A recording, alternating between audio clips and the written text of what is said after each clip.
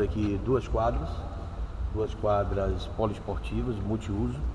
A nossa ideia aqui é transformar, principalmente aqui no subúrbio ferroviário, gente tem uma concentração muito grande é, de pessoas carentes. É, o desenvolvimento aqui de principalmente ações de iniciação ao esporte.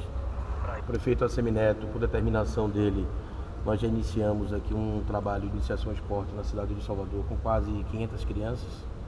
Ficamos classificados é, pelo governo federal no segundo tempo como a capital de maior apreciação e atendimento a essas crianças de iniciação ao esporte. O primeiro contato, é, em consonância com o secretário de Educação, Bruno Barral, nós travamos aqui um entendimento de atendimento a essas crianças aqui de 6 a 12 anos de idade.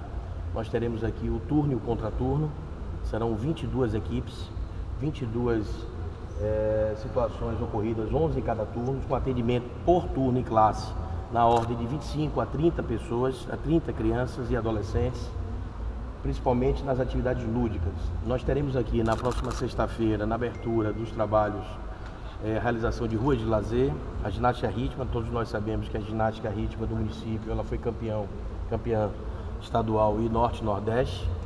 Nós teremos um trabalho aqui da apresentação de atividades em salas aqui apresentadas e estruturadas como karatê e capoeira para toda a comunidade.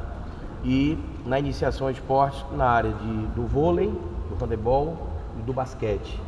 E na prática também de atividades paralímpicas em contexto, em consonância, e o do futsal, né, que é uma grande tendência hoje aqui da sociedade, em consonância o que o prefeito tem determinado na cidade de Salvador, principalmente no atendimento na área do esporte do lazer, na área periférica da cidade.